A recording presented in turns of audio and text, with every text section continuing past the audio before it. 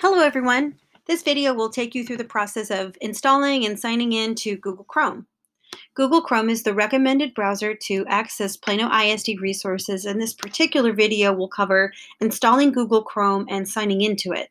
The other pieces of the puzzle to access PISD resources is signing into Webdesk and also having a list of resources and who to ask for help.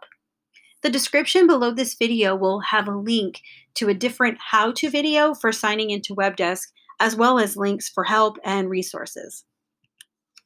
So let's get started with Google Chrome. The first thing to know is your username and password. All staff and students in Plano ISD have a username and a password.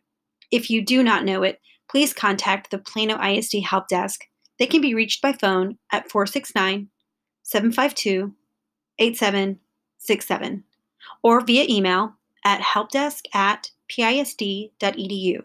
If you send an email, please provide a callback phone number. Plano ISD devices already have Chrome installed. However, if you're using a home computer or a personal device, you may need to install Chrome on the device. The instructions from Google on how to install Chrome on different devices is in the description below this video.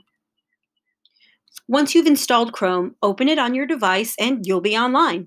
In the upper right corner of the Chrome browser window, you will see a small silhouette icon.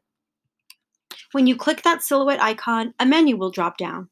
Click the blue button that says Turn on Sync. You'll be taken to a sign in page asking for an email or phone number. You'll enter the user's email address, and then on the next screen, you'll enter the user's PISD password. All PISD staff and students have email addresses. For students, it is their first name dot last name dot and then a number at mypisd.net. For example, a student email address might be aaron.martinez.2 at mypisd.net. And remember, it's the same PISD password. If you aren't sure what that is, please contact the help desk. Once you're signed into Chrome, you'll be asked if you'd like to link your Chrome data. Click the button that says Link Data.